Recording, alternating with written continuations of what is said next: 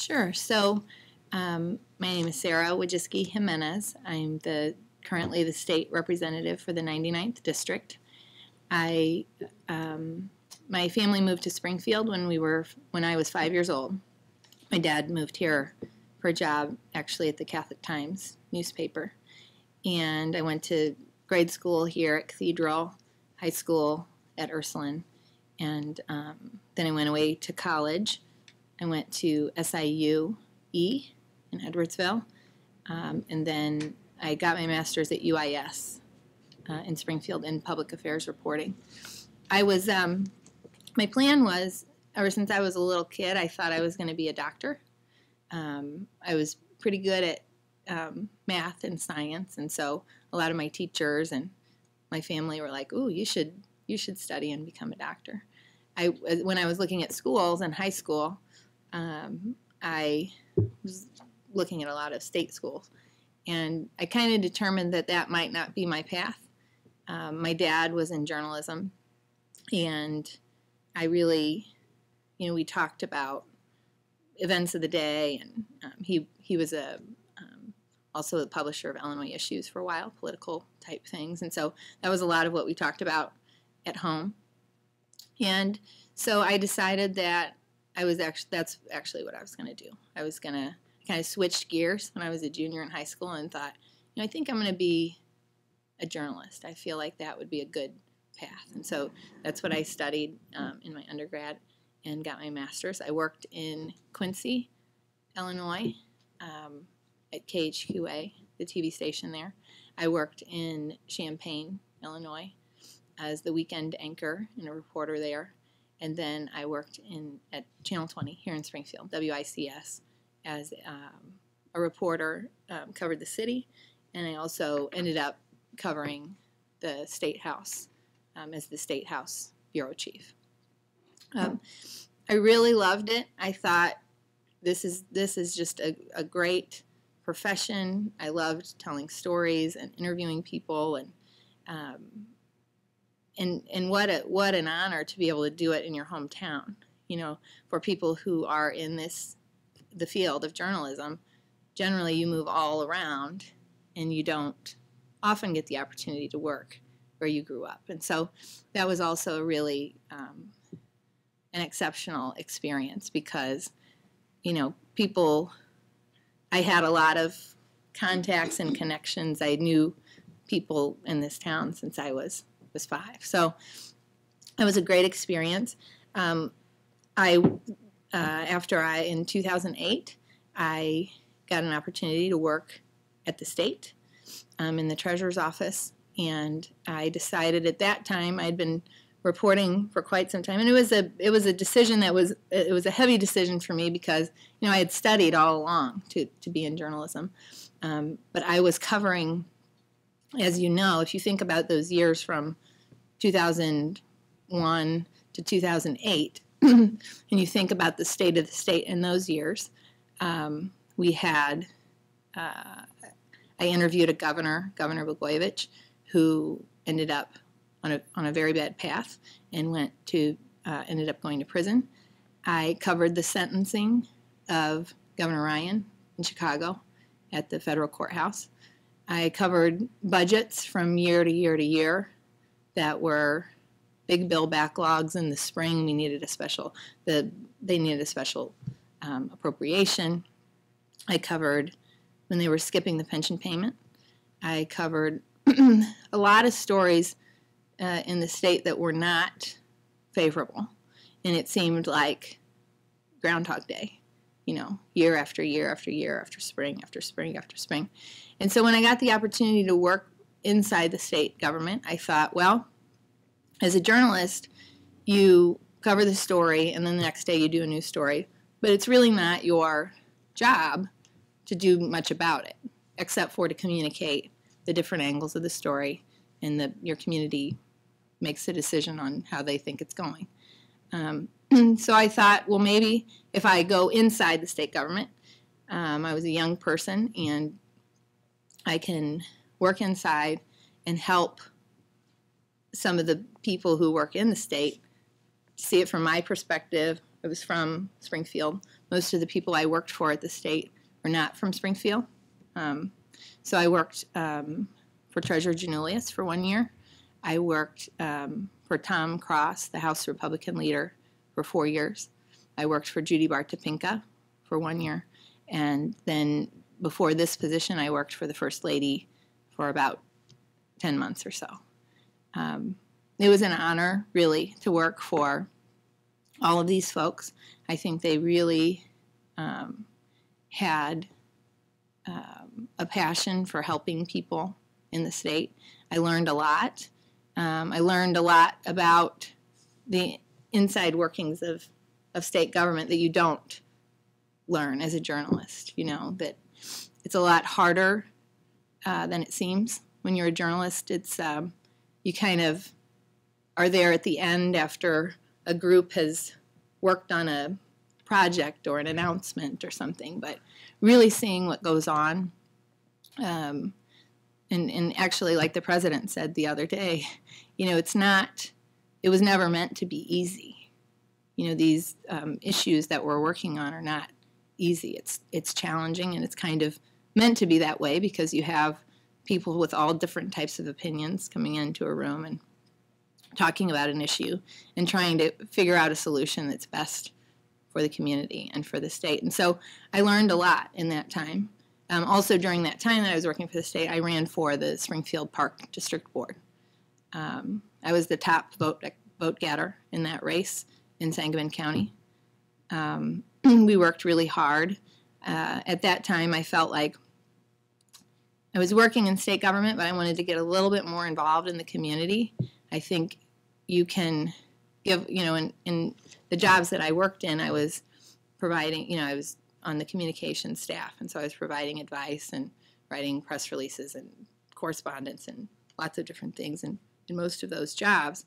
But I thought, you know, this is an opportunity for me to get even more involved. I'm going to be at the board table. I'm going to take the issues, and I'm going to have to decide yes or no on issues that are important.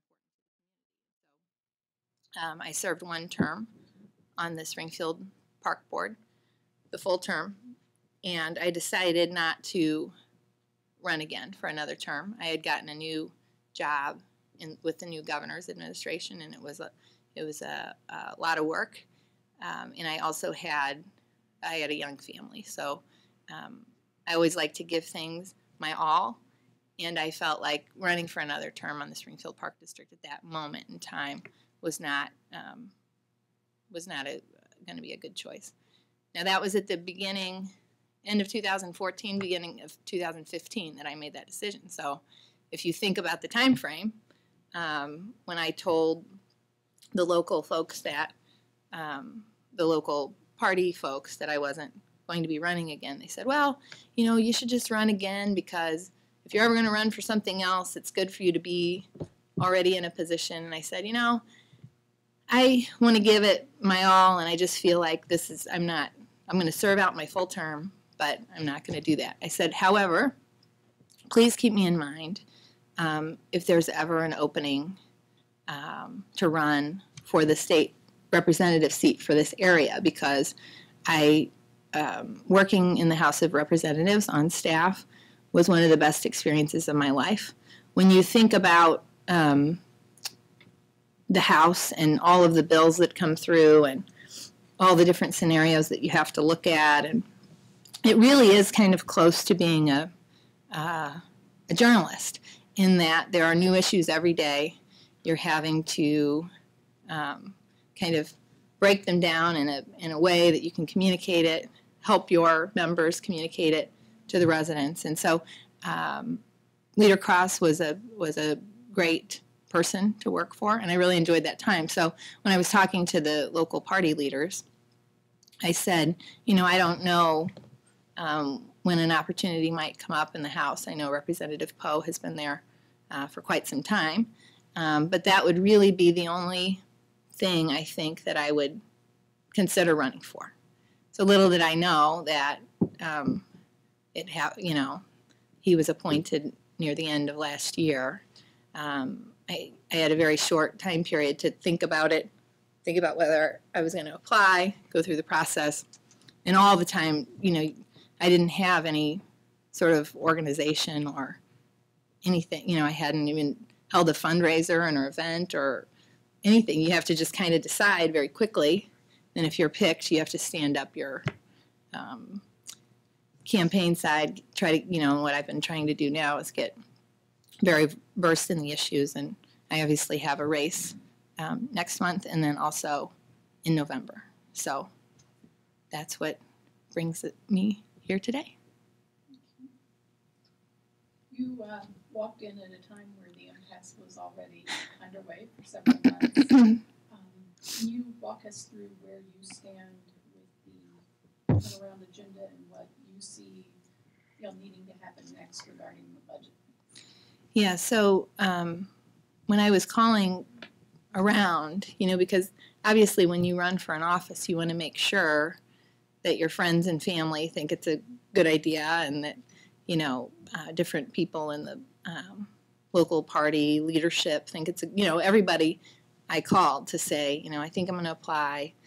And a lot of people thought it would be a great idea that I would do it with the caveat that, well, you know that this is a really bad situation that you would be applying for a, a job, you know, in this circumstance where you're going into a six months without a budget and um, seems like it's a extreme gridlock.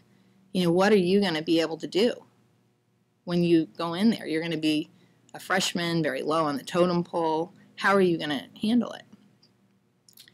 And I really felt like, um, you know, I don't think if I had all the answers, we'd be, we would have been resolved, you know, a few weeks after I got there. But um, I think my background and my experience um, in journalism and both in working in, inside government as a state worker for this area gives me um, great skills and experience to serve the residents um, in this district well.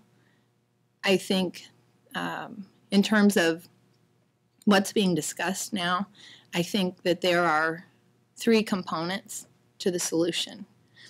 Um, sounds very simple, but each component is actually very complicated. So I do, I know from working in state government and, and being a, an observer that there are more places that there can be efficiencies and cuts.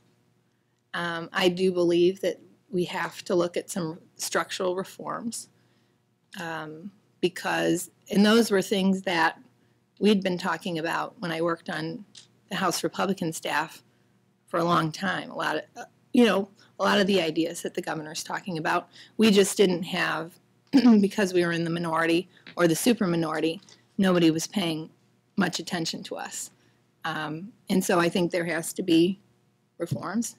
And I think after you do those two things, which are very going to be very difficult with supermajority um, uh, Democrats in the House and Senate, then I will be willing to look at different revenue options. I think it, but you have to do the cuts and reforms first. I, saw, I was on staff when um, the vote occurred in 2011 for the tax increase.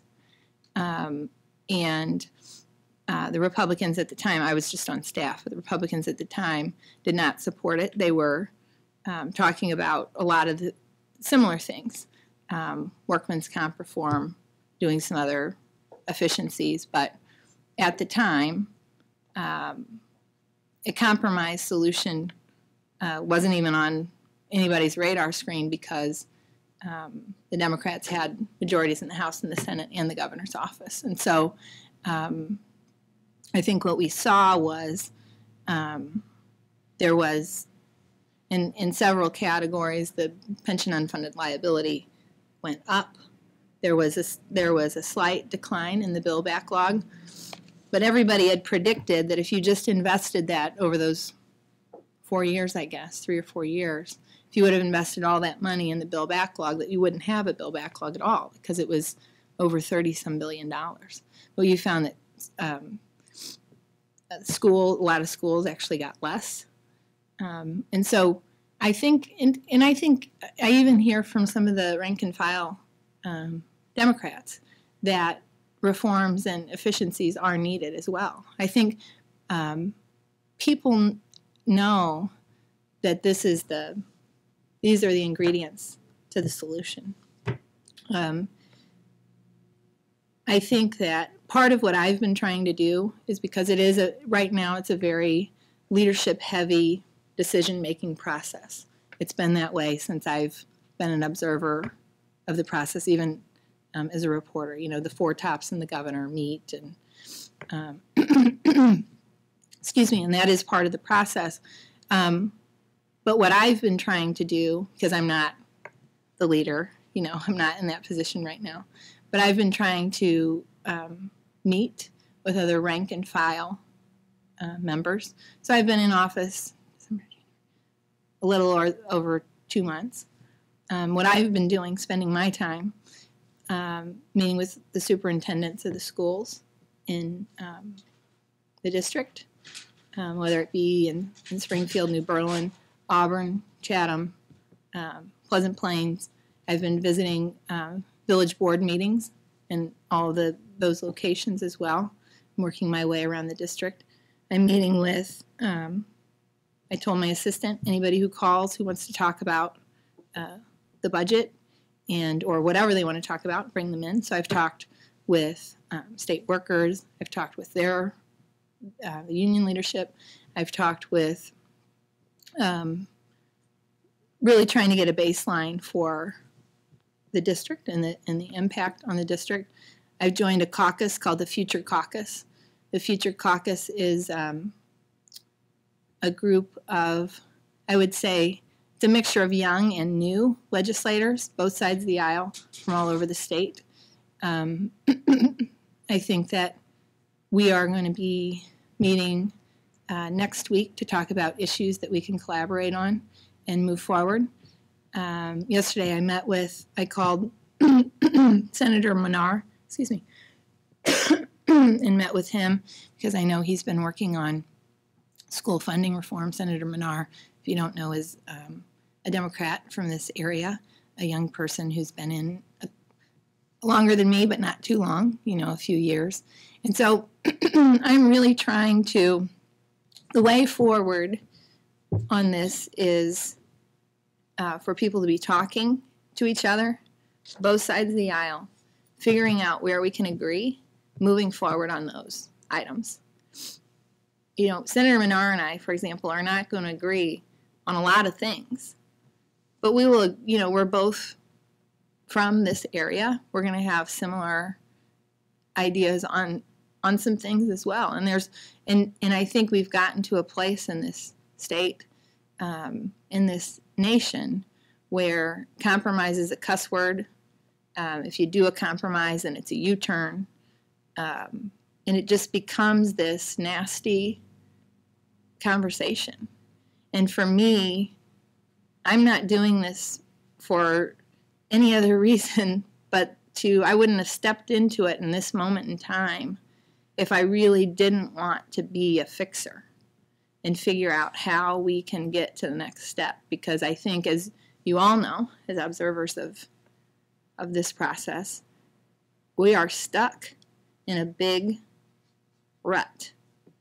And we will I'm hopeful we will emerge we will we have to um, and so I'm trying to do all I can with my position um, to to try to move the ball forward and building relationships and really figuring out, you know, because I think there's a big trust issue um, right now, and and we're in an election year. You know, it's uh, for me. I have a couple of races this year. I've not done this before, so I'm not sure. You know, all I know is that I'm working hard um, on the state side. I'm working hard on the other side, and it's a it's a seven day a week job.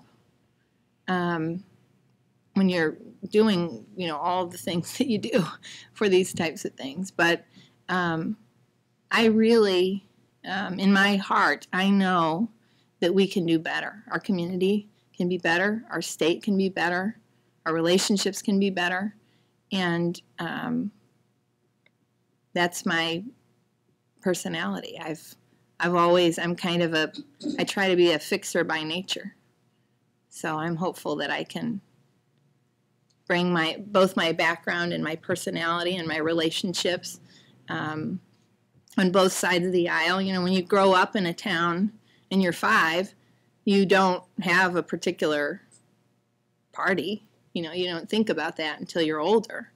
Um, and so you, and then as you grow up, you find that, oh, some of my friends are Republicans, some of my friends are Democrats, and um, you, ha- you can listen to people for their perspective. Now, you might not, the agreement may, may not come quickly, but um, I think those conversations have to be had. A little bit about the bill that you co-sponsored for um, stopping the automatic pay increase for legislators.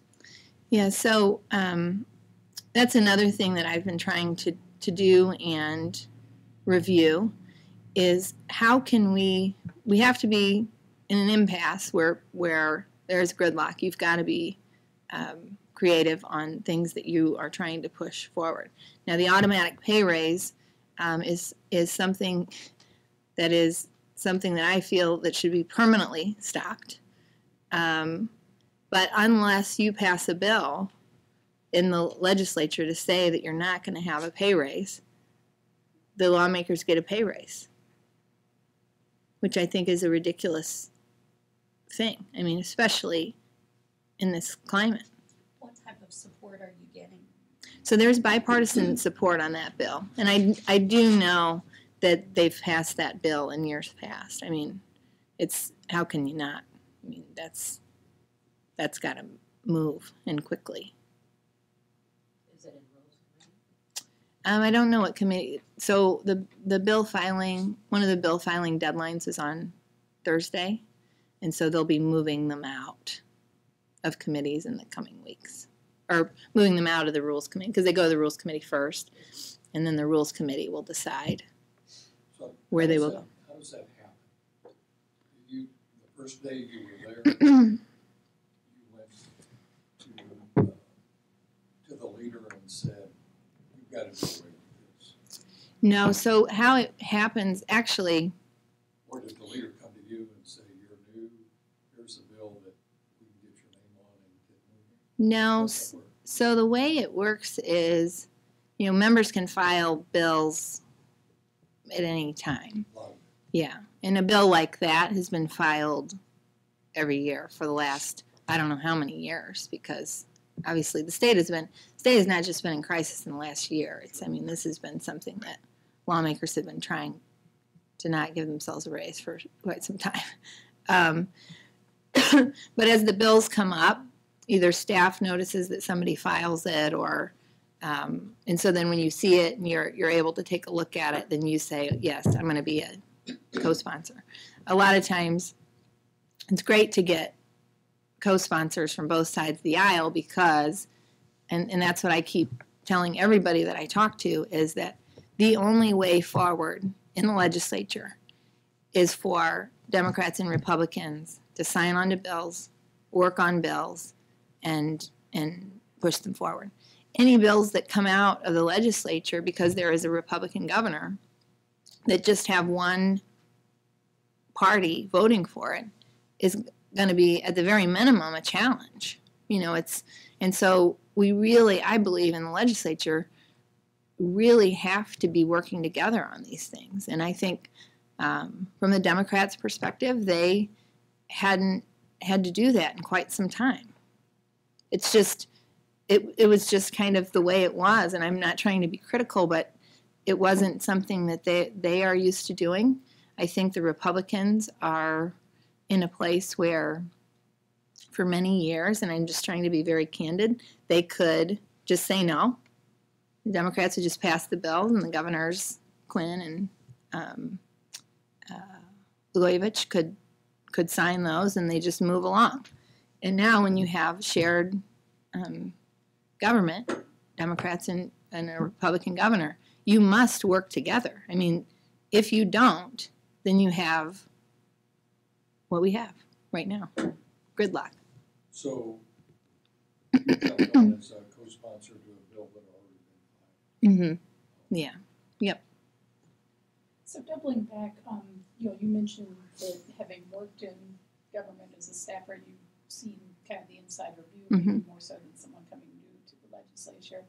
Um, in terms of cuts and efficiencies, can you be a little more specific on certain, some of the areas you would look at? Sure.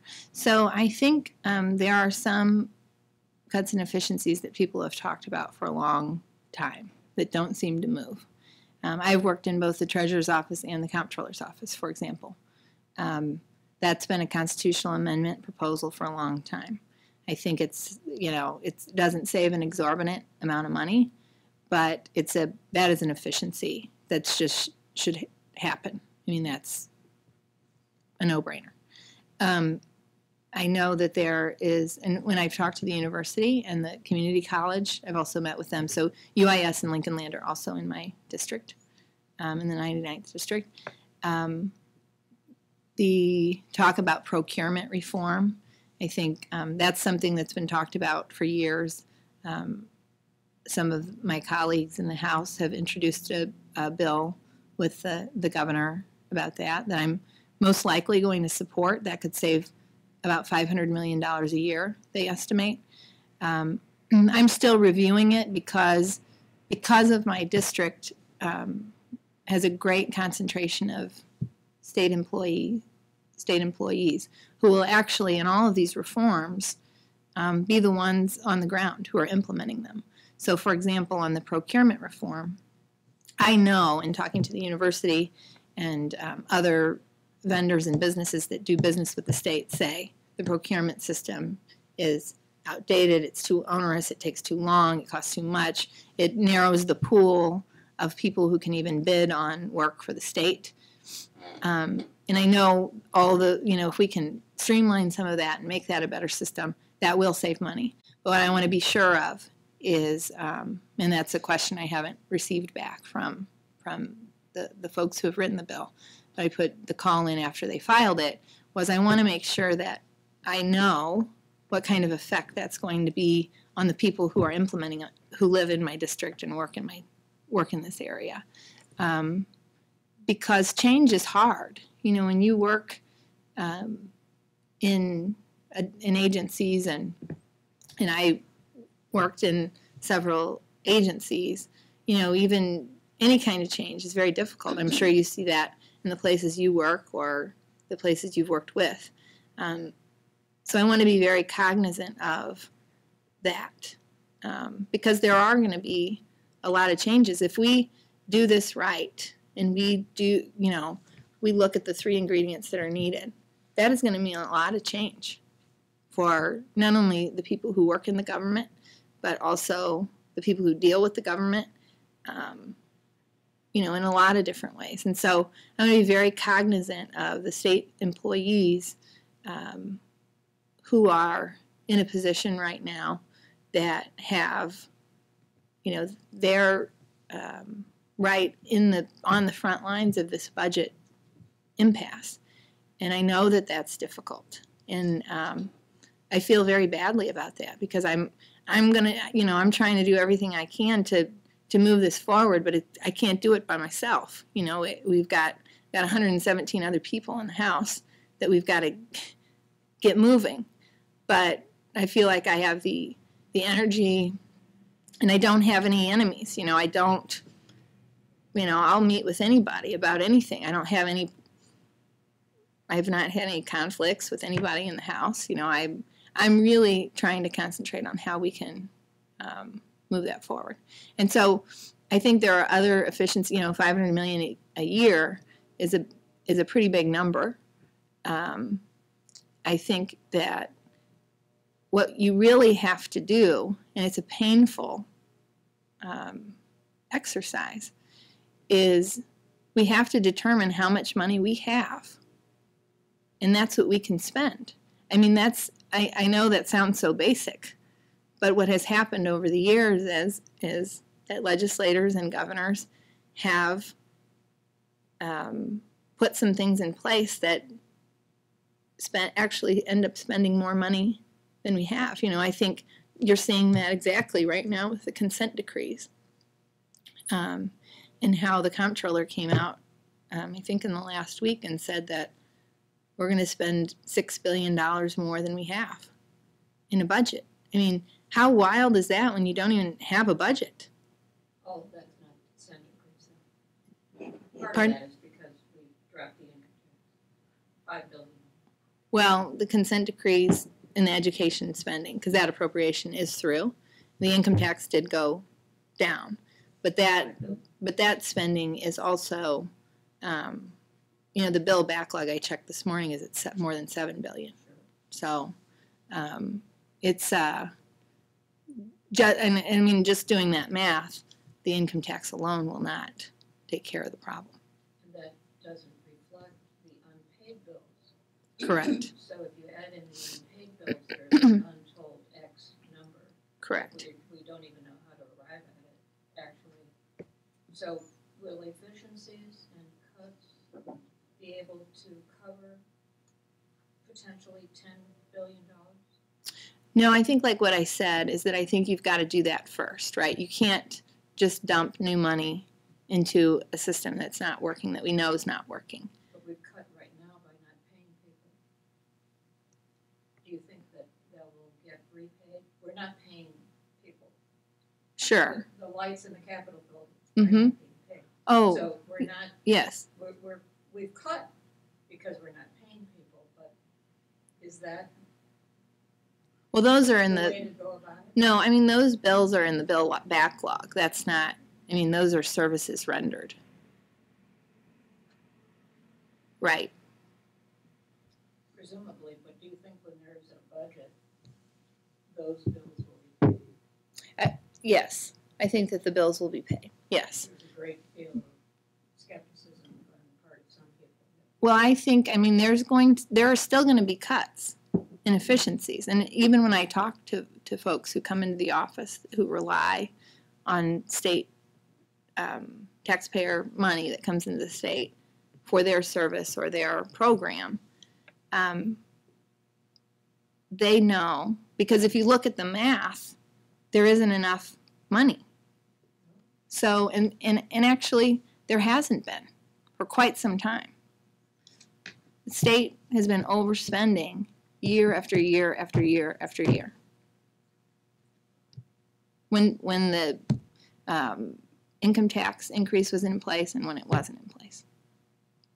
It's been empty promises. And what's happening is we've got to be honest with people. We've got to say, this is what we have.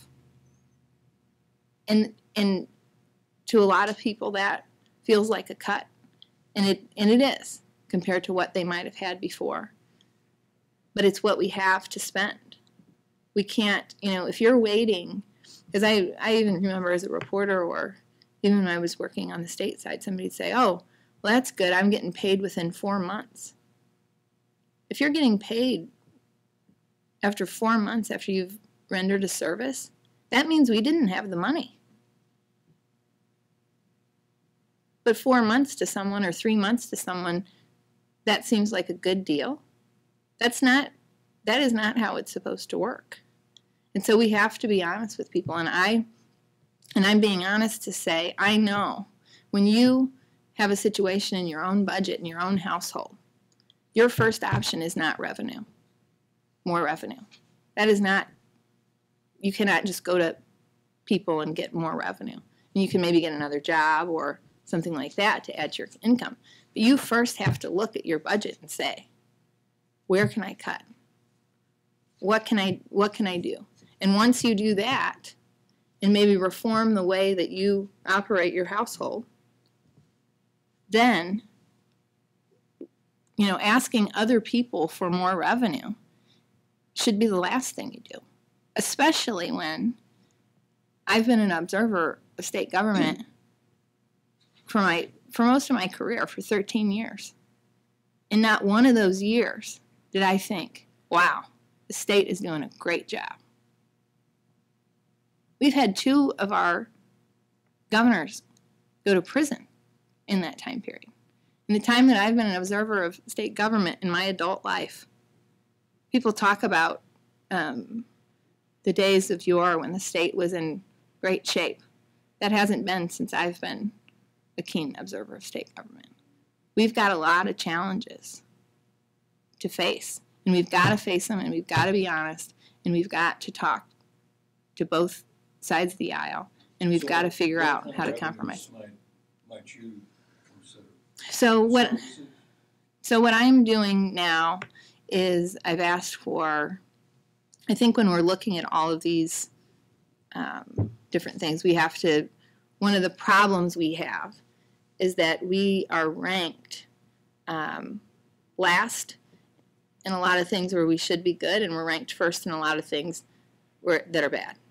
And so I think as we're analyzing revenues, um, reforms, um, I think when you're in a place where things are really bad, you've got to see where you can be competitive on the different revenues. So I don't know that it's any particular revenue that we say it's just going to be this or it's just going to be that. I think So you've got to look at it a whole. I wouldn't. I'm not a. I'm. I'm not a huge fan of taxing that. No.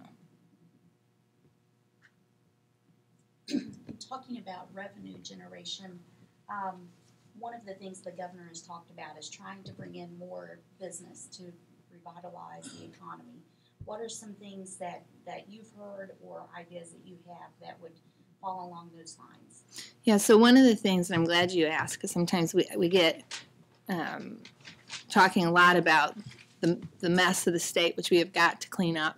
But I think we also have to, we can think on a multi track into how do we grow. And so part of the thing that I've been doing is, is meeting with DSI and the Springfield Chamber of Commerce, some businesses about what what are the top things that we at the state can do to make Springfield and Sangamon County um, kind of more diverse in its um, in an economic way, and also the state. And yet, all the businesses say workman's comp is the number one thing. Whoever I talk to, workman's comp reform, just compared to to to other states and the and the amount of money they pay there. Certainty over the budget. That's another thing. That's a big a big item for for businesses in the area because you know a lot of state workers um, go to the businesses um, buy their services and do that sort of thing and number three is just the state regulations permitting processes um, all of those things procurement some of those items that um, really hold them back so as i talk to them and i haven't talked to all every single business in um, Springfield, but I have calls into a lot of them, especially um, the ones that um, are larger companies in town, because I want to figure out exactly why they aren't expanding in Springfield. Why exactly, you know, are they expanding in other states? I've talked to some businesses that are expanding in other states. I've talked to some businesses not too far from here who they have um, they're they're really struggling in terms of um, clients manufacturing. And so I think, you know, at least for me in the district, we've got to concentrate on what our businesses are saying. You know, I'm, uh, so those are the areas that I'm looking to get more information on. I do think, and I've met with a lot of the community leaders in Springfield and Sangamon County um, to talk about how can we um, and this is a very lofty goal, but that's kind of if you don't have them, then you don't obtain them. But how can we make Springfield and Sangamon County the best place in the state? I think we've got um, a lot of the infrastructure that that you would need if you had it on paper. You know, we've got the airport, we've got Lincoln, we've got the state capitol, we've got um, great human resources. I mean, when you think about our community and the people who are growing into these leadership positions right now, um, everybody I meet with, despite the challenges and despite um, the mess that we're all coming into at this moment in time. You've got a lot of people who are very passionate about what they do. The mayor of Springfield, um, superintendent um, Jennifer Gill at the uh, public schools. We've got um, uh, Andy Van Meter at the county, who's been here for a long time, business owner. Um, you know, the list goes on and on and on. And I think that um, part of what I'm going to do, I was just actually at a community breakfast the other day where a lot of those folks were in uh, the room, is how do we prioritize what we we need to do to um, make Springfield and Sangamon County great. I mean, I I think it's um, I don't think we're that far away, really. I think we've gotten to a place in our state in our communities that, and even in our neighborhoods where everybody's kind of in their own silo in their own world, you know, and that's fine because people are busy and everybody has a lot going on. But, I think as community leaders, uh, we have to come together, Republicans, Democrats, um, and figure out what our priorities are. How do we, you know, do we need government to be helpful in that? Do we need government to be out of that?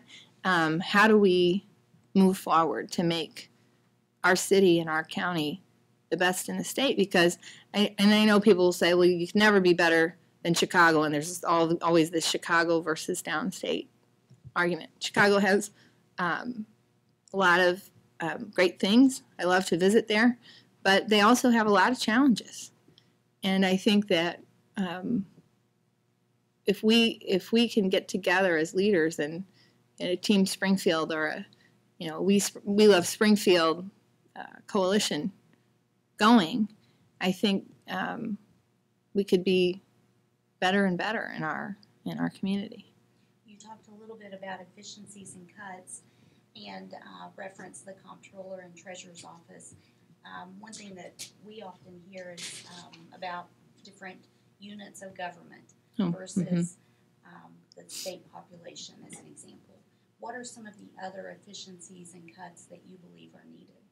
Yeah, so um, there, for many, many years, there's been a lot of talk about um, how many units of government there are in the state as compared to to um, the population.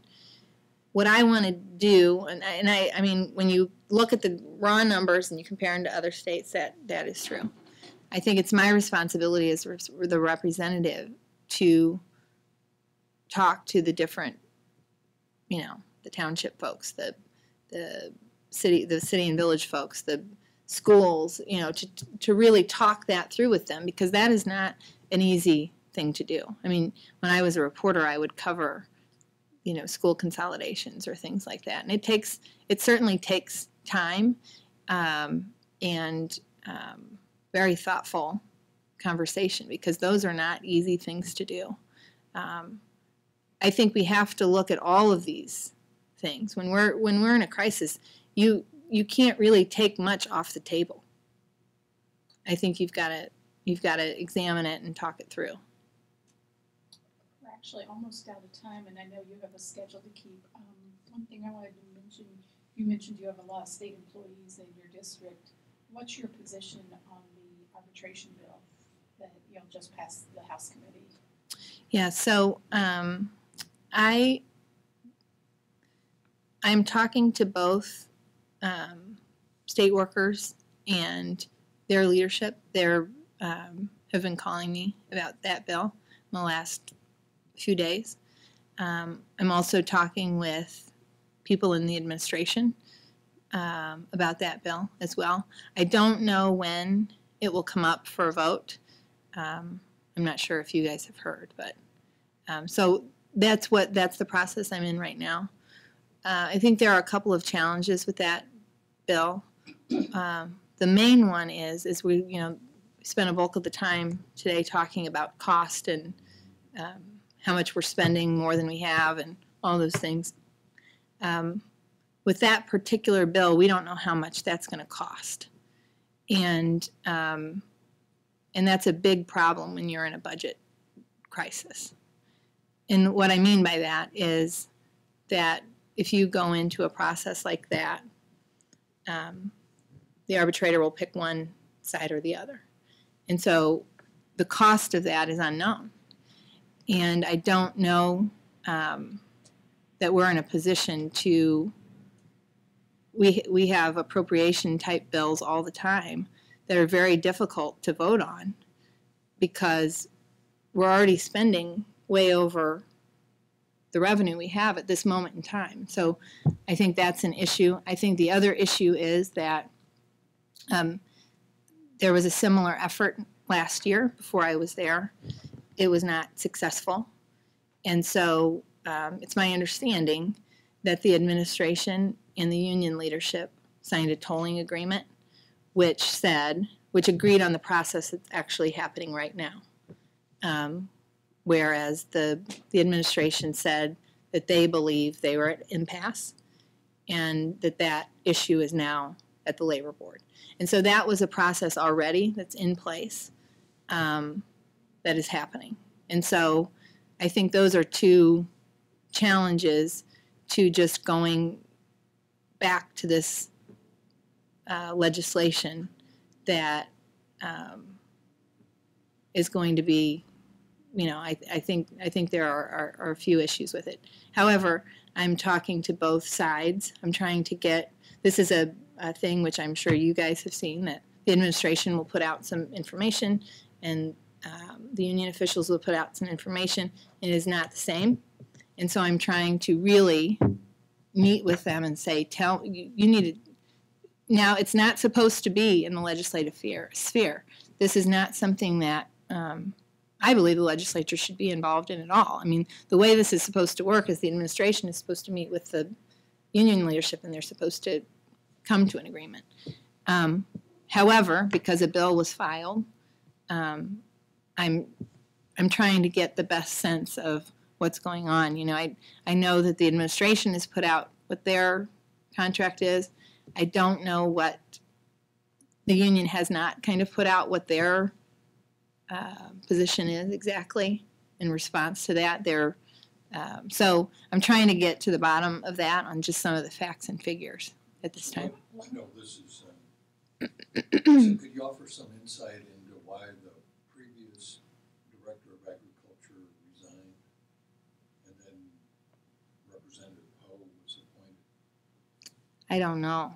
I I wasn't. I mean, that was kind of. I'm I'm not sure. I mean, I I really don't know because I wasn't. That wasn't an area that I was involved in at all. No, I'm. I don't know.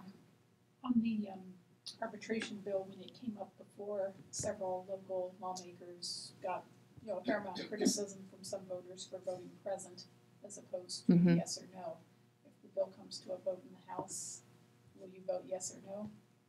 Um, I will not vote present. With the facts that you have now, what would you vote? I don't have all of the facts that I, you know, I, I'm trying, I'm really trying not to deal in hypotheticals because, um, and not to say that that's a hypo, that is not a hypothetical. I don't have all of the information that I need to make a decision, and I also don't know um, when this is going to come up for a vote, and so I'm trying to balance. Um, a lot of things are going to be going to committees, and the the priorities of when they call these things is going to be, you know, so I'm, I'm trying to study them and really get all the facts and information because I know this is a, this is a, uh, I think it's a vote that will be coming up, but I don't, I mean, I don't know if it's next week or, and then we're not in for a while again, so. We're actually at our time mark. Anyone have a final question? Did you, what, what was your takeaway from, uh, the president's visit? What, what message did he kind of resonate with you? So I um, it was very interesting because since I've been appointed to this seat, I've uh, at least up until that day, we've been in session only four days since the beginning of um, uh, December, um, and two of those days have been speech speeches. In the House, you know, the House and the Senate. One was the governor giving the State of the State address, and then the very next week, or maybe just two weeks, it was the president giving an address. Um, I mean, it was obviously a very historic day in Springfield when the when the president comes to visit. I was very um, when he was talking about his first bill and being a freshman and you know 20 years ago. For someone like me who's just new um, those types of stories really resonated with me because i i mean i do feel the weight of the responsibility and the honor of the position as i s- literally sit in my seat and i'm trying to um, get all the information i can about what's going to be before me. I think his message um, that that uh, political um, scene has got to change. He's he's exactly right, and that's part of what I talked about in the beginning.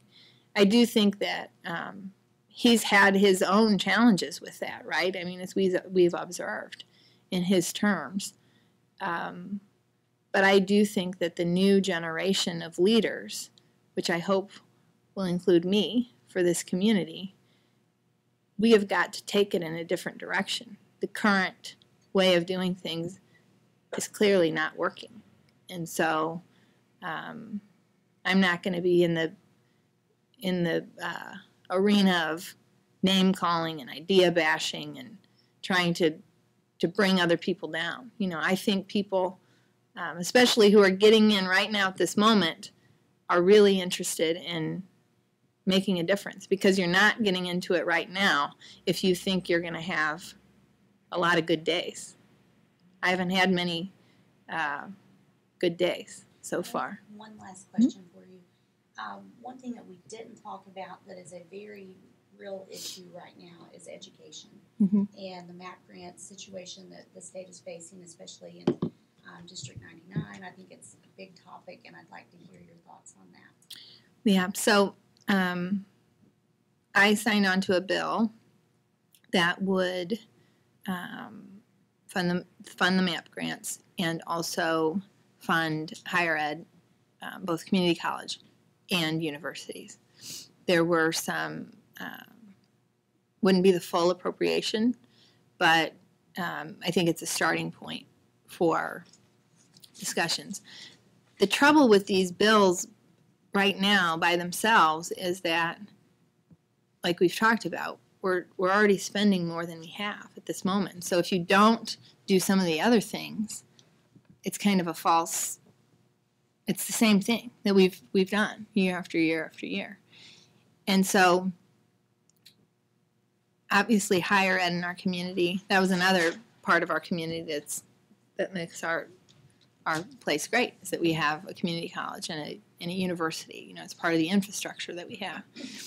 And I'm very hopeful that we can work together. You know, the the Democrats had passed a bill last week or the week before for community colleges and MAP grants, full funding.